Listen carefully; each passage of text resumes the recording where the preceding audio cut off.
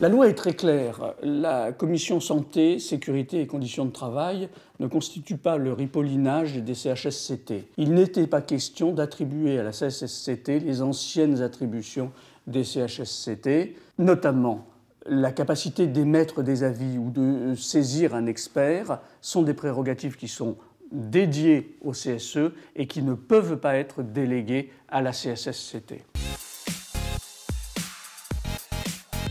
En l'absence d'accord collectif, la CSSCT est euh, une instance d'échange, une instance de préparation des travaux euh, du euh, CSE et son rôle peut se limiter à celui-ci. Un accord collectif peut retenir des solutions différentes et notamment peut organiser une délégation entre le CSE et la CSSCT par exemple afin que euh, la CSSCT euh, suive, prépare les travaux sur la prévention des risques, sur la protection de la santé des salariés. On peut même imaginer d'aller plus loin et, concevoir une délégation par le CSE à la CSSCT des travaux, même des recommandations susceptibles d'être faites dans les domaines euh, de santé, de sécurité, d'hygiène, de conditions de travail pour lesquels le comité euh, social et économique est susceptible d'être consulté.